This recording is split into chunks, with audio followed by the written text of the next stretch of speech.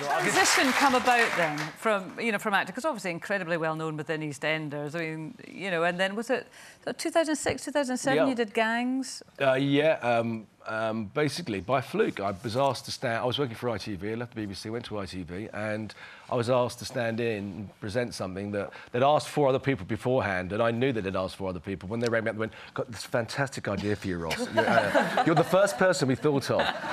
Um, as show business goes. Um, I, and I, when I was making it, I met a guy who was in the Bloods, who'd been shot 26 times, and I just hit it off with him. And I thought, this is the antithesis of what I'm being fed on MTV, what I'm seeing in the movies. He, he was poor, he was scared.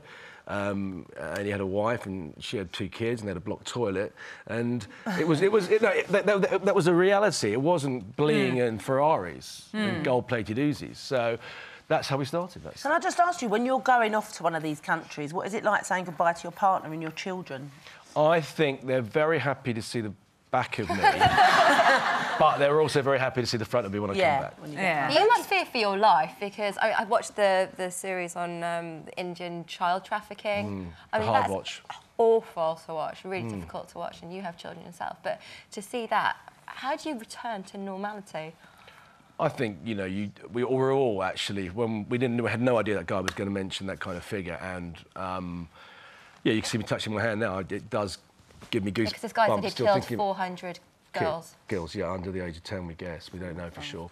Um, a very hard subject to talk about this uh, this time of day, but I would say this: you I went from wanting to really, really hurt him, which is Yeah. not my job, sorry, uh, and and then when we uh, ended up in tears. Um, my translator, my cameraman, my sound man, the four of us, we were just we were just destroyed by it. But you say it's not your job to hurt him, and clearly it's not. But I mean, there must be a huge frustration that you're going into situations where people are causing immense suffering amongst children, well, uh, amongst everyone, and you can't do anything to change it. I mean, do you just take your story and walk away? I mean, how Well, you does ha- that well, you, feel? well, you have to because it's not my job to be juror Yeah, but- or judge or executioner. my job is to actually explo- expose what he's doing, explain the situation, and then you hope that that is brought to the authorities, uh, to the attention of the authorities, and they do something. But Ross, what about when one criticism could be you make these uh, these films very very well made and You're going to criticise me.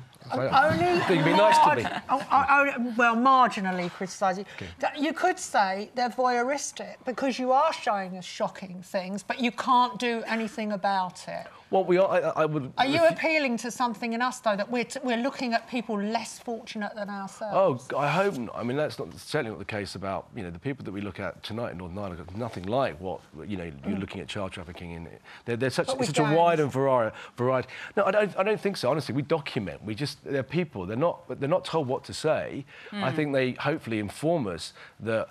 That they have taken certain decisions, or they have been forced into taking certain decisions, and that we can learn maybe from, from their mistakes or Yeah. the Has situation it they find changed you, your in. experiences? Oh, without a doubt. I think I'd be a very different person if I'd stayed, uh, you know, acting. But I'm never going to rule that out. You know, we've all got to pay mortgages, and uh, I love, I love doing what I do now. Yeah. I, I, it, it's such a, we live in such a rich world, and there are so many good people out there, genuinely good people. But I, I think it's always good to point out the ones that are not Yeah. so good. Do you think because you look a certain way that you can, you know, you look like you can look after yourself, basically? I look like I can. It's all, it's all acting. but but you listen, get Ross- scared going in, you're all right, you feel Yeah. okay. I, I, you know, most of the people I meet are damn like bigger than me. I have to say, a lot bigger than me, a lot more scarier than me. So. But listen, if you can't make it one week, Janet will do it. She's yeah, back. she's, that, that is scary. Quick little present for you. Drink that. We know you love your tea. We've got Loose Women Ross's blend, and that's it. Ross Whoa. Kemp, everyone. Thank you. Thank you. Some pretty fabulous guests here on Loose Women. There's plenty more where that came from. Just click here to watch more interviews with a whole range of famous faces. And click here to subscribe. It's free, so you'd be silly not to, really. We're going to be back. The, the both my boys, Ross and Steve, uh, Phil and Grant, and myself, um, are back. And sadly for Peggy's funeral, but you know, I'm glad we're all back together, and it's and it's a great honour to be asked to go back and, and to send. And is it just a one-off, or might you be coming back It's a one-off at the moment because our boss Dominic's leaving. We've got a new boss stepping in, so hopefully the new boss will take me up on the mantle as a full-time character. when I Do you come back. feel- to I'd go like to go back, back.